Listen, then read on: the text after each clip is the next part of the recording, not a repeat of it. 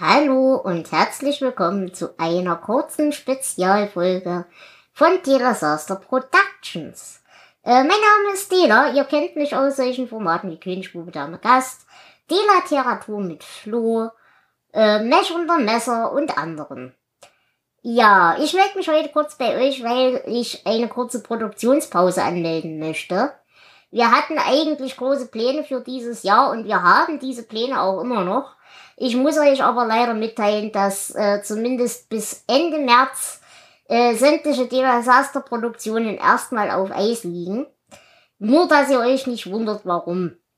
Äh, folgendes Problem. Einerseits ähm, bin ja an Disaster Productions nicht nur ich beteiligt, sondern mehrheitlich auch noch zwei bis drei andere Menschen.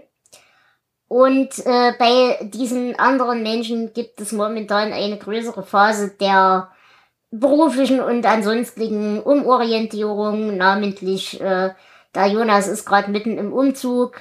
Äh, ich selber habe zurzeit körperlich sehr viel Spaß gehabt.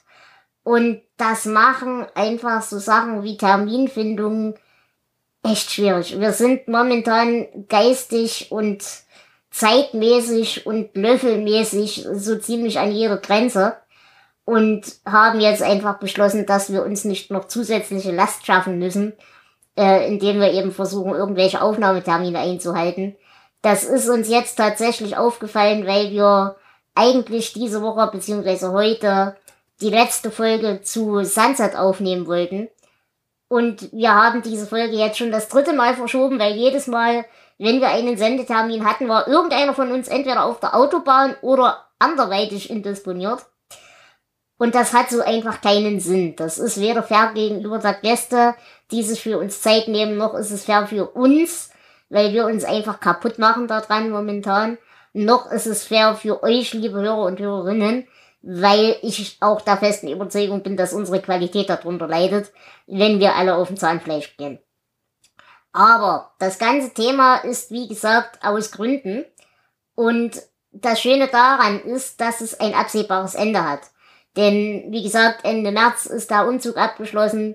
Bis dahin äh, sind wahrscheinlich auch äh, diverse Bewerbersituationen und derartige Dinge gelöst. Und ja, sobald das Wetter besser wird, wird auch bei mir meistens körperlich diese ganze Sache wieder einigermaßen erträglich.